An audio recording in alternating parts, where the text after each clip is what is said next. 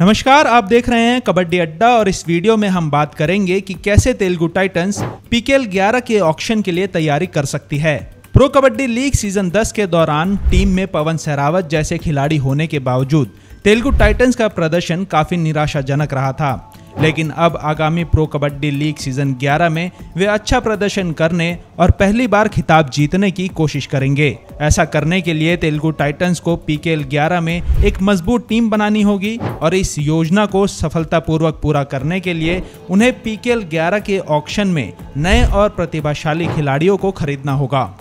Telugu Titans के मालिक अपने कप्तान पवन सरावत को रिटेन रखना चाहेंगे। पीकेएल 10 में पवन सरावत का प्रदर्शन काफ़ी सराहनीय था। उन्होंने 202 रेड पॉइंट हासिल किए थे।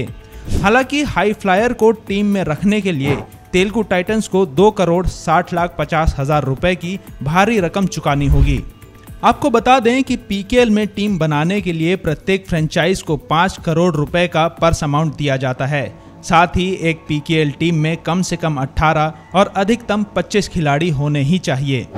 अगर तेलुगु टाइटंस पवन को रिटेन रखने का फैसला करती है तो उनके पास टीम बनाने के लिए लगभग ढाई करोड़ रुपए ही होंगे। और अगर वे पवन को रिलीज़ करते हैं तो उनके पास पर्स अमाउंट के पूरे पैसे तो होंगे, लेकिन शुरुआत से नई टीम बनाना एक कठिन चुनौती होगी।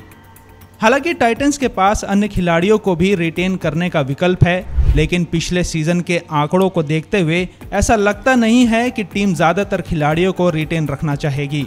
हालाँकि टाइटंस अपने रेडर प्रफुल जवारे और रॉबिन चौधरी को रिटेन रखने पर विचार कर सकते हैं। टाइटंस ने प्रफुल को न्यू यंग प्लेयर के रूप में खरीदा था और रॉबिन को 9 लाख रुपए में। इसके अलावा तेलुगु टाइटंस पीकेएल 11 के ऑक्शन में जिन खिलाड़ियों के पीछे जा सकते हैं, उनमें से कुछ नाम हैं मनिंदर सिंह, प्रदीप नरवाल, सिद्धार्थ देसाई चंद्रन रंजीत वी अजीत कुमार, विशाल भारद्वाज, रण सिंह, सुरजीत सिंह, विकास कंडोला और फजल अख्तर चली। ध्यान देने वाली बात यह है कि ये सभी खिलाड़ी केवल तभी पीकेएल 11 के ऑक्शन के लिए उपलब्ध होंगे जब उन्हें उनकी करंट टीम द्वारा रिलीज़ किया जाएगा। आपको बता दें कि पीकेएल 11 का ऑक्शन 15 और 16 अगस्त को होगा। ऐसे में तेलुगु टाइटन समेत हर फ्रेंचाइज एक मज़बूत टीम बनाने की कोशिश करेगी।